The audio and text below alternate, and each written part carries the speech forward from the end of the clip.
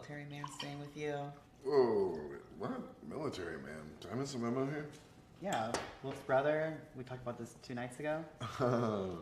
Sorry, babe. I guess I was a little preoccupied. but now I want to fucking know. Spill it.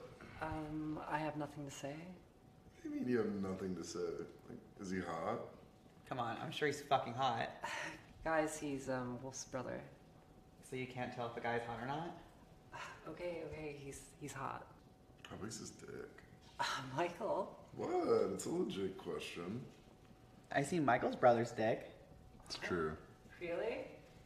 How? Uh, now you're just fishing for answers.